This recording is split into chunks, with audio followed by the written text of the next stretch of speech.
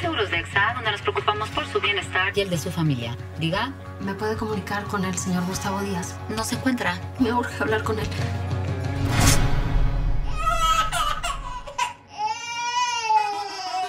Tengo que fumar. Bajo por una cajetilla rápido y regreso.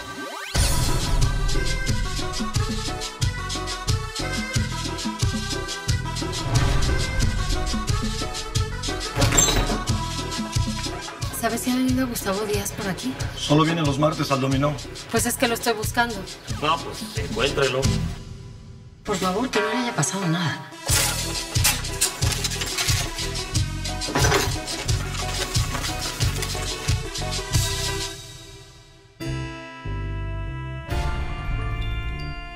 Tengo mil pesos, Eloy. ¿Sabes lo que es eso? Dos hijos y mil pesos en un cajón.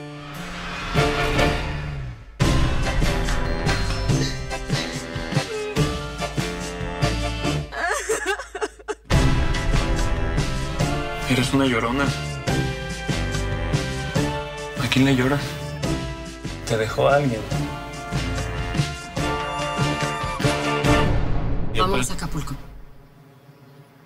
Yo pago todo. Voy a cantar suavecito. Suavecito, suavecito.